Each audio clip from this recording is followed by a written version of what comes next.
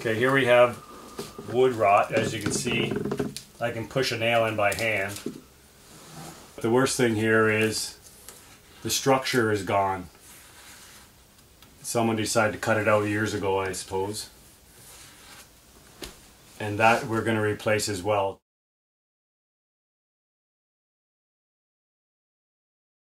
Sorry.